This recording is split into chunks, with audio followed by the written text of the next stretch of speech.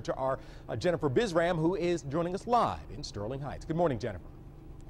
Good morning. Yeah, the most frightening thing this fall, this Halloween may just be the weather, as you mentioned, cold, wind, rain, possibly snow. And you know, I got to tell you, it is kind of cold here right now, so I can imagine later on with a costume. Now, the weather is calling for cold temperatures, uh, ducking into the 30s, wind chills in the 20s, maybe even some snow. So, how can you and your trick or treaters stay warm this Halloween? Well, we went to Lynch's Halloween shop in Dearborn for some tips. The costume store has been around since 1949, and they say this year they are selling out of things to wear under your costumes, like leotard liners and underbody suits. They still do, however, have quite a few unitards left. That basically covers your legs and arms in one shot.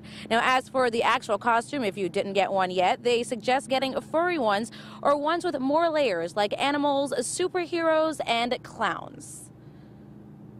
I got two left. I've got a lion and a tiger for purchase. I got a couple gorillas, which includes a big fur suit and the um, mittens and the feet and the mask, so those are warm. How a way to avoid the ghouling weather this Halloween go trick or treating at a mall where we are right now, Lakeside Mall, and they are opening their doors for trick or treaters at 6 o'clock this evening. If you don't live close by, that's okay. You can call your local mall and see what they have in store for your little trick or treaters. That is the latest live here today in Sterling Heights. Jennifer Bisram, 7 Action News. and